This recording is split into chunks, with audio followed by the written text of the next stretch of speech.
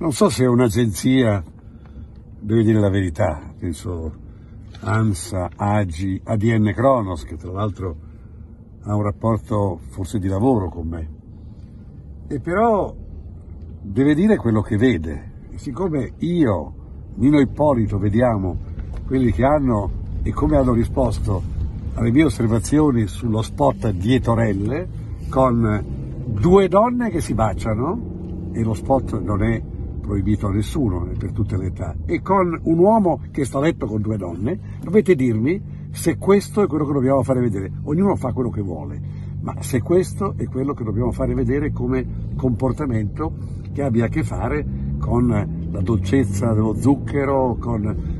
Certamente se vado a vedere l'ultimo tango a Parigi o un film pornografico potrò vedere un uomo fra due donne o potrò ripetere nella mia immaginazione l'azione di Ciro Grillo con i suoi amici e la povera donna che hanno forse violentato.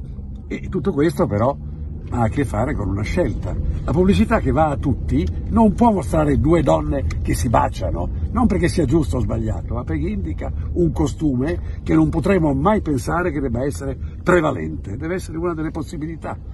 E chi crede e chi educa i propri figli ai valori cristiani ha diritto a essere rispettato. E così l'uomo con due donne e così le due donne che si baciano. Leggo qua, ADN Kronos, alla fine il risultato ottenuto è una diffusione virale dello spot e una valanga di messaggi che criticano la posizione di Sgarbi, proiettando l'hashtag Vietorelle al vertice tra le tendenze che può essere che siano anche tendenze, ma io ho visto che invece la più parte di quelli che hanno visto le cose che io ho detto hanno approvato le mie parole, perché non sono le parole di un moralista e non sono neanche le parole di uno che è contro la volontà di mitigare l'omofobia, ma se c'è l'omofobia c'è anche la pedofilia e c'è anche la pornografia.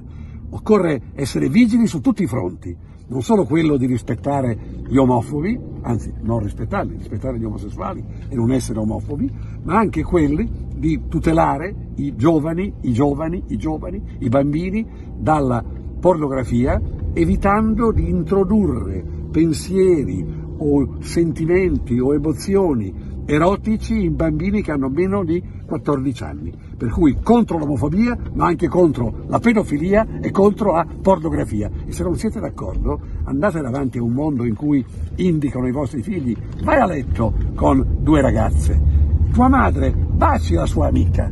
Ecco, tutte cose che possono accadere, ma che non c'è nessun motivo che vengano pubblicizzate.